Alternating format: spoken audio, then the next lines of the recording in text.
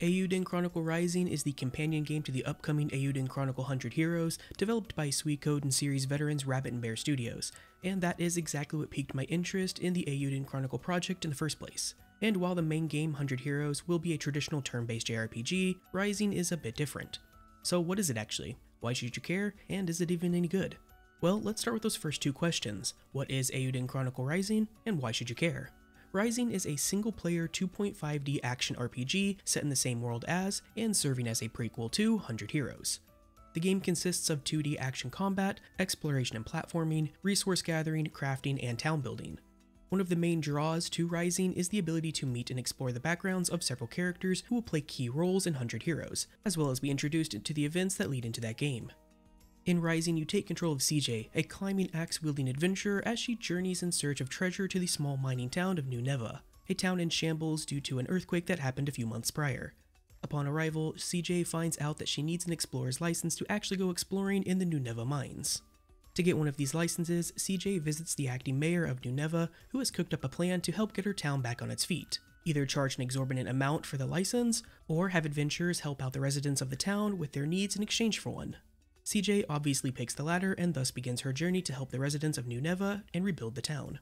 But did you know that much like how CJ helps the residents of New Nevaeh, you can help me by liking this video and subscribing to the channel? I also stream most days over on Twitch if that's your thing, and I will be doing a fresh playthrough of Eiyuden Chronicle Rising, so if you have any questions or just want to hang out, stop by and say hi. Alright, so brief overview of what Rising is, what it's about, and shameless plug out of the way, let's talk about gameplay. As stated, the game is a 2.5D action RPG with exploration, platforming, resource gathering, crafting, and town building. Everything begins with the town of New Nevaeh. It's here that you will pick up quests, both main story and side quests, which will send you to the various areas outside of town, such as the forests, mines, snowy peaks, and more. As you progress through the game and complete quests for the residents, different establishments will be unlocked and upgraded. For example, helping out the innkeeper will unlock the inn, which can provide temporary buffs such as increased attack, defense, item drop rate, and experience, whereas helping out the smithy will unlock and upgrade the blacksmith, where you can upgrade the weapons and equipment of your party members. In addition to unlocking and upgrading establishments, completing quests for the residents of New Nevaeh will also reward you with Bakwa, the currency for Eiyuden Chronicle, experience points, as well as stamps. Stamps serve a small narrative role in that they are what CJ needs to acquire in order to obtain her explorer's license, but they also serve a gameplay purpose in that every 10 stamps you get, you are able to receive a reward. Quests themselves are generally not very complicated, with much of them being fetch quests to find specific items or resources.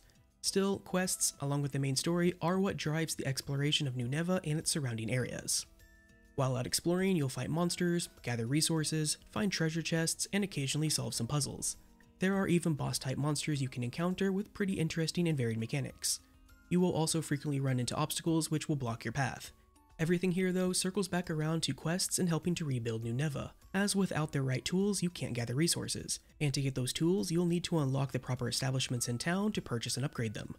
The same goes for obstacles. For example, purchasing new equipment for CJ can unlock the ability to double jump, allowing you to more easily access difficult to reach areas. Eventually, you will also get the ability to make elemental runes that can then be socketed into your weapons and armor. And when socketed into a weapon, you gain the ability to break down special elemental rock formations that would otherwise block your progression. These can also help if you run into some difficult enemies or a challenging boss, as you can try equipping different elemental runes to gain an advantage. This is what I meant by everything begins with the town of New Nevaeh. You talk to the residents to find out what they need and then go out and get it, thereby completing a quest. Completing certain quests will then unlock new establishments in town, which can provide you with the key tools and upgrades to open up new areas for exploration outside of town, which in turn provide new resources and new quest opportunities, and so on. Now, let's talk combat. Combat in Eiyuden Chronicle Rising is a sort of fast-paced hack and slash affair that takes place on a 2D plane. Early on, combat is extremely simple, with CJ only having access to a 2-hit ground combo, a 1-hit aerial combo after jumping, and a dash either forward or backwards. As you progress through the game though, things open up quite a bit. Gaining access to extra characters, for example, provides the ability to swap between them on the fly in combat, and proper timing of this swap can result in longer combos and bonuses to damage dealt. Each character is essentially mapped to one button, and pressing that button swaps that character and attacks with them. Learning enemy attack patterns as well as their weaknesses and swapping to the right character to handle a given situation is key to success in Rising. In addition to new characters adding additional attack avenues during combat, purchasing equipment can as well. Using CJ as an example again, purchasing her new weapons can improve her base combo from 2 hits to 4 hits. And after upgrading another companion, Garoo's gear, he can gain the ability to perform charge attacks, which are excellent at breaking enemy shields. As you progress further into Rising and start coming up against more challenging enemies and bosses, you will also want to experiment with equipping different elemental runes to your characters. If a boss uses earth damage against you, you can equip an earth element rune to your armor to reduce the incoming damage or you could equip a water element rune to your weapon to deal additional damage against bosses or enemies that are weak to water. In general though, combat will largely take on two forms, regular enemies and bosses. With regular enemies, you will generally just swap to the best character suited for dealing with a particular enemy and only use that character while dodging enemy attacks.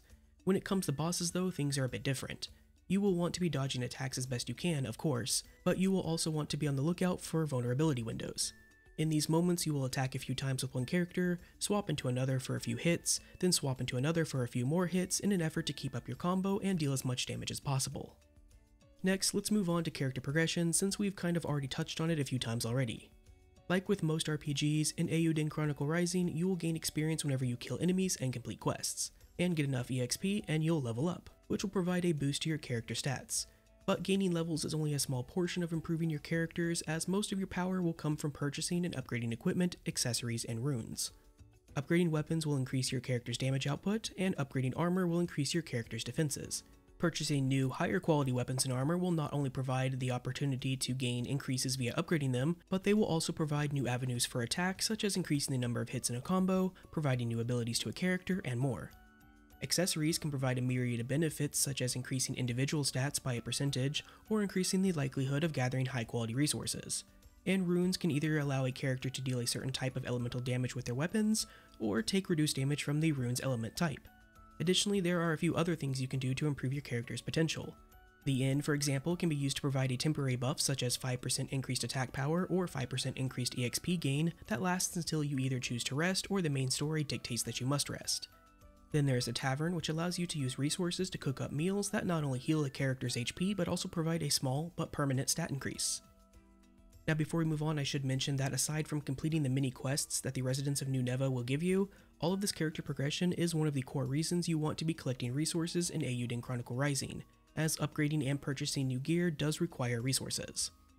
Alright, so now that we've covered what Rising is and its core gameplay mechanics, let's talk about what I liked and what I didn't like about the game and honestly, there actually isn't a whole lot that I didn't like about Rising. The gameplay loop of accepting quests, then going out to explore the game's many areas for resources, and then bringing those resources back and turning them in as you see New Nevaeh grow was a satisfying experience. No quest took too long to complete, and even when backtracking to previously explored areas, something that you will do very, very often, the map sizes were small enough that it didn't really feel like a burden. Though I will say that the inclusion of fast travel points all throughout the world definitely did help with this. Another thing that helped contribute to the backtracking not feeling like a burden was the Metroidvania style of progression of areas, in that as you acquire new tools and improve them, you were able to gain access to previously inaccessible areas. I also thoroughly enjoyed Rising's combat. It does admittedly start out very slow, but the process of slowly unlocking the full combat potential of your team has its charms. Where I think the combat really shines though is with the boss encounters, as bosses had more unique and varied attacks when compared to normal enemies. The satisfaction of using their visual and audio cues to learn attack patterns and then punish vulnerability windows with long combos was a joy. And of course, the musical score for Rising was a charm, something that is all the more important considering the game has no voice acting. But there are still a few things on the negative side that I do want to mention. And sticking with sound, I do want to bring up the game's sound effects. Overall, these were fine, and the audio cues in combat and on bosses were a nice touch. However, I did notice that some of the environmental sound effects were much louder than everything else and could drown out some of the other sound effects and music. Now you could turn down the audio levels of the sound effects from the options menu, but that would turn all of them down, including those audio cues. Not a game breaker or anything, but definitely something that was noticeable. The last real negative I had with Eiyuden Chronicle Rising is one that admittedly most people won't have, and that was with the text, or more specifically the font. Many text boxes had quite a bit of text crammed into them, and I'm sure the font chosen was chosen specifically to accommodate that. But as someone with dyslexia, I found the choice of font and Rising to be somewhat straining on the eyes and hard to read at times. Again, I'm sure most people won't feel the same as me on this, and it won't really cause them any issues, but I did want to point it out nonetheless. And really, that's about it. I enjoyed my time with Eiyuden Chronicle Rising, and for the $14.99 asking price, I think it's definitely worth checking out, especially if you are someone who's looking forward to 100 Heroes, as Rising provides an opportunity to get acquainted with the world of Eiyuden Chronicles and some of its key characters. Otherwise, it's a fun, charming little action RPG that is well paced and worth giving a shot if you're into 2D action RPGs.